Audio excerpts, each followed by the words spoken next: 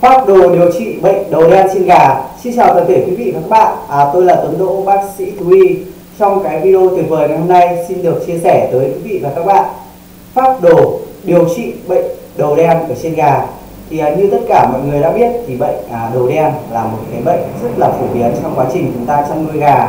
Thì à, với các cái triệu chứng con gà sốt cao, ủ rũ, xù lông, à, bỏ ăn và đặc biệt hơn thì con gà sẽ tiêu chảy với những cái ờ, ờ, màu à, và loãng như trên màn hình đây và con gà ủ rũ xù lông bỏ ăn. Thậm chí khi chúng ta mổ khám ra đặc biệt ở trong gan sẽ xảy ra cái tình trạng là à, nổi những cái u cục hình cúc áo và lõm ở trên bề mặt gan. Và đặc biệt hơn thì à, ở trong cái manh tràng khi chúng ta mổ khám ra thì xuất hiện những cái kén rất là cứng ở trong cái manh tràng. Thì à, đây chính là cái bệnh tích điển hình ở của cái bệnh đầu đen ở trên gà.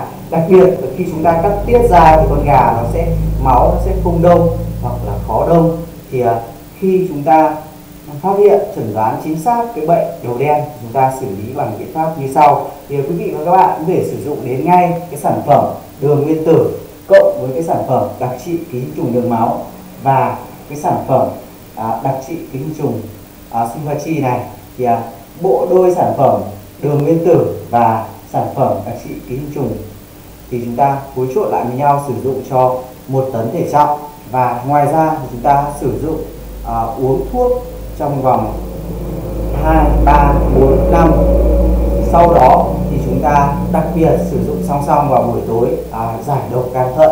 Đây là một căn bệnh tấn công lên gan là chủ yếu cho nên chúng ta cần phải giải độc gan thận. Nếu quý vị và các bạn chẩn đoán chính xác cái bệnh à, đầu đen ở trên gà mà đã không có những cái biện pháp mà để điều trị đạt hiệu quả cao thì à, có thể liên hệ trực tiếp qua Tuấn Đỗ 0981 6893 hoặc comment xuống dưới video này. Cảm ơn quý vị và các bạn đã theo dõi video này. Nếu thấy hay, hãy like, share, comment hoặc subscribe để theo dõi những cái video mới nhất từ Tuấn Đỗ bác sĩ Thú Xin cảm ơn.